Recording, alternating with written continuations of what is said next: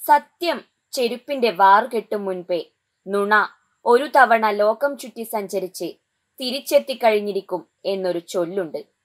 ഈ അടുത്തായി നമ്മുടെ മാധ്യമങ്ങൾ മിക്കതും തിരഞ്ഞെടുക്കുന്ന ഒരു നയമായി ഇത് മാറിയിരിക്കുന്നു. വായിൽ തോന്നുന്നത് കോതയ്ക്ക് പാട്ട് എന്ന് പറയും പോലെയാണിത്. എന്താണ് തോന്നുന്നത് അതങ്ങ് എഴുതി പ്രചരിപ്പിക്കുക.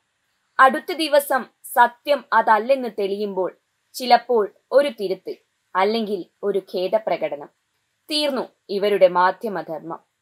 ജനങ്ങളെ തെറ്റിദ്ധരിപ്പിക്കുന്ന രീതിയിൽ വാർത്തകൾ മെനയാനും അത് ഒരു മടിയുമില്ലാതെ പാടി നടക്കാനും ഇവർക്കൊക്കെ പ്രത്യേക കഴിവാണ്.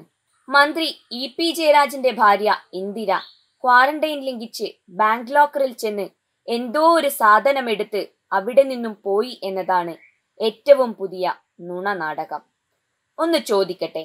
കേരളത്തിന്റെ മാധ്യമ മുത്തശ്ശിയടക്കമുള്ള പ്രശസ്ത മാധ്യമങ്ങൾക്ക് എങ്ങനെയാണ് ഇത്തരത്തിൽ ഒരു മഞ്ഞ പത്രത്തെക്കാൾ തരം താണ രീതിയിൽ വാർത്തകൾ കൊടുക്കാൻ കഴിയുന്നത്? പത്രത്തിൽ ഒരു വാർത്ത കൊടുക്കുമ്പോൾ അതിന്റെ നിജസ്ഥിതി അന്വേഷിക്കുക എന്ന ഒരു പതിവ് നിങ്ങൾക്കില്ലേ? അതോ നിങ്ങളുടെ പത്രത്തിൽ വരുന്ന എല്ലാ വാർത്തകളും ഇത്തരത്തിൽ ഊഹാപോഹങ്ങൾ മാത്രമാണോ? സാധാരണക്കാരായ ജനങ്ങളുടെ വെറും സംശയം മാത്രമാണിത്.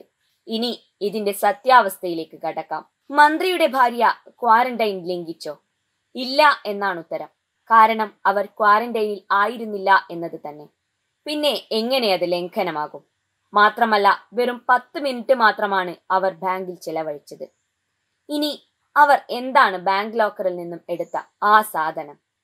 ഈ വരുന്ന ഇരുപത്തിയഞ്ചിനും ഇരുപത്തിയേഴിനും പിറന്നാൾ ആഘോഷിക്കുന്ന കൊച്ചുമക്കളുടെ ആഭരണങ്ങളാണ് ഇന്ദിര ലോക്കറിൽ നിന്നും എടുത്തത്. ഇതിൽ എന്താണ് നിങ്ങൾ കണ്ട തെറ്റ്? പേരക്കുട്ടികളുടെ ആഭരണങ്ങൾ എടുക്കാൻ ബാങ്കിൽ ചെന്നതോ? ക്വാറന്റൈൻ അല്ലാതിരുന്ന ഒരാളെ അയാൾ ക്വാറന്റൈൻ ലംഘിച്ചു എന്നാരോപിക്കാൻ എന്ത് തെളിവാണ് നിങ്ങളുടെ കയ്യിലുള്ളത്? സത്യസന്ധതയുടെ ആൾരൂപങ്ങൾ എന്ന് സ്വയം വിശേഷിപ്പിക്കുന്ന നിങ്ങളെപ്പോലുള്ള മാധ്യമങ്ങൾക്ക് ജനങ്ങൾക്കിടയിൽ ഇനി എന്ത് വിശ്വാസ്യതയാണുള്ളത്? മാർക്കറ്റിൽ വിറ്റുപോകുന്ന എന്തും വാർത്തയാക്കാനുള്ള നിങ്ങളുടെ ഈ അടങ്ങാത്ത ആവേശവും മറ്റൊന്നിനുമില്ലാത്ത പ്രതിബദ്ധതയും മലയാളികൾ എന്നെങ്കിലും തിരിച്ചറിയുക തന്നെ ചെയ്യും. ധാർമ്മിക മാധ്യമ പ്രവർത്തനത്തിന്റെ എല്ലാവിധ അതിർത്തികളും ലംഘിച്ച് നിങ്ങൾ നടത്തുന്ന ഇത്തരം ശുംഭത്തരങ്ങൾ ഇനിയെങ്കിലും ഒന്ന് അവസാനിപ്പിച്ചുകൂടെ?